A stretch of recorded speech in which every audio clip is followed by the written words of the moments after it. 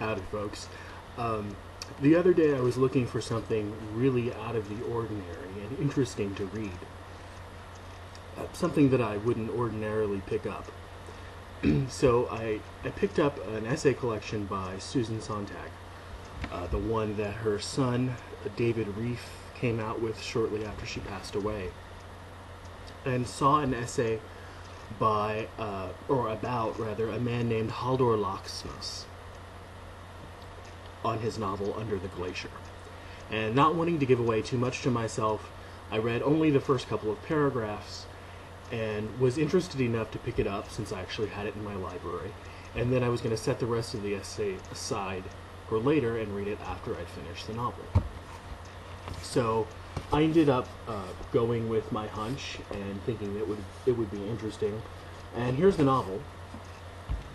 Like I said, it's um, it's called Under the Glacier by Haldor Laxness.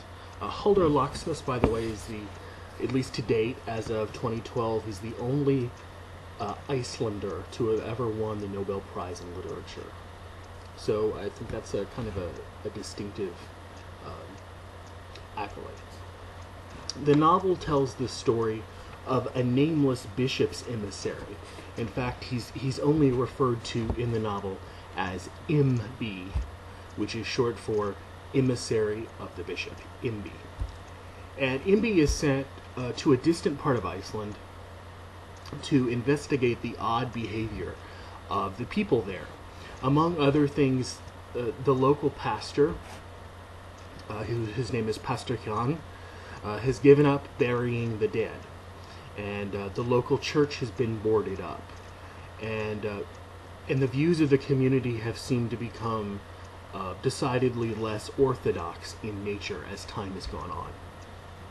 Much of the novel is just a, a retelling of Imbi's frustrations, his continuous frustrations and confusions at the behavior of these people and trying to figure it out. Uh, when Imbi asks Pastor Hyun about the importance of delivering sermons, which is his job, right? He's a pastor. He says, Oh no, better to be silent. That is what the glacier does.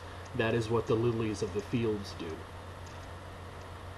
Instead, Pastor Hyun spends most of his time traveling around the village, shoeing horses, and repairing old electric stoves. During his fact finding mission, MB happens across a truck driving poet named Hodinus Alfberg and his boss, the new agey and oddly con man like Godman Singman. Uh, note his name, Godman, spelled G O D M O N M A N, excuse me. Singman is leading a group of Hatha yoga practitioners and acolytes from Ojai, California, through Iceland on some sort of a mission to find themselves. You know, that, that grating exhortation of the New Age go find yourself. Singman, in his attempts to harness the universal hieratic powers of, of the stars and of the universe, ultimately wants to reanimate the dead of this village. And at one point, Imbi meets the resurrected Ua, spelled U A, and apparently that is the sound that men used to make upon meeting her. I thought that was funny. Um, but who has apparently been resurrected from the dead. She was once married to Pastor Hyun, who's in charge of the village, uh, but that was before she died, or possibly was turned into a fish. Yeah. Um, despite its subject, uh, you, you've probably uh, got some sort of a grasp on how odd this novel is now. Despite its subject, Under the Glacier has the occasional humorous moment. Uh, but I didn't find it the hilarious, uproarious, and profound novel that Susan Sontag claims that it is in her essay on Under the Glacier, um, or that several other uh, reviewers, not necessarily on Goodreads or YouTube or, or any one site, but just reviewers in particular, uh, found it to be. And this may speak to the time uh, when it was published. It was published in 1968, which was certainly a momentous year for Europe, uh, politically and culturally. Um, it was also a chaotic time that you probably needed to live through in order to understand the immediacy of its importance.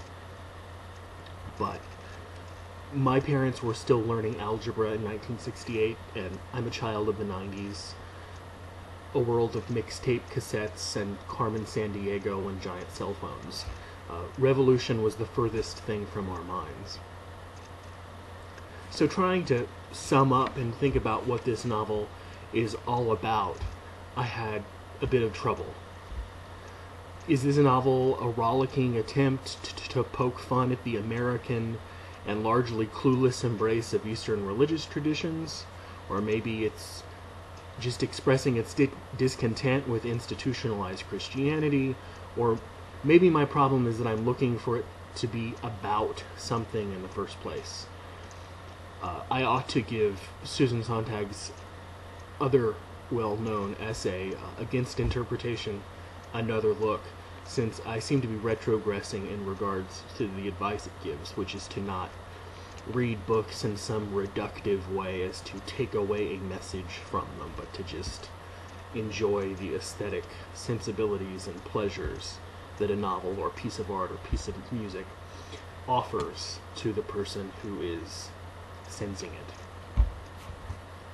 Uh, I can't say I would recommend this book. It has been called one of Haldor Laxness's more idiosyncratic, odd novels. So I might, I think I have three or four of his other novels. I might end up trying one one day, but reading this didn't really leave me itching for more Laxness, that's for sure. Um, Under the Glacier by Haldor Laxness.